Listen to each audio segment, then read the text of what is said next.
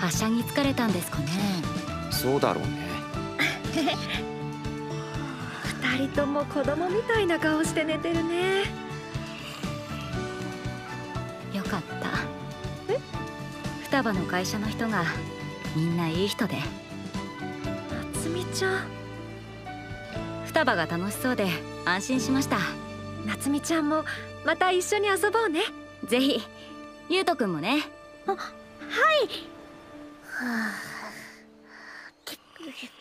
あ